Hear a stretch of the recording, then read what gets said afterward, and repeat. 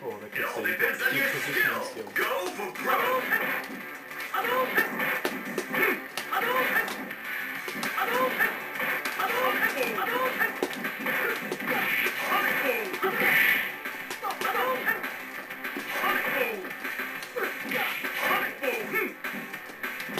Thank.